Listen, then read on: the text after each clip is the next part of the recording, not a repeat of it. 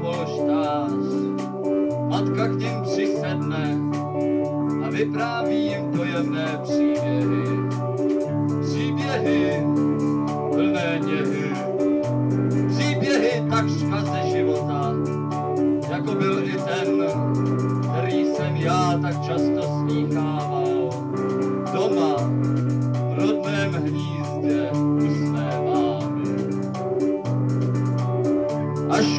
tebe zakuká.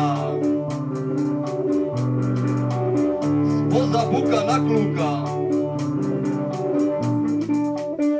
Co tam puká, strabuka.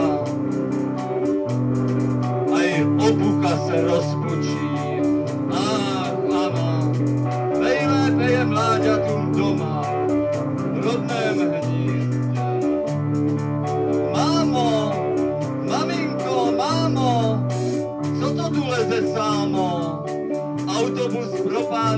Olence, to jsme se nasmáli Olence.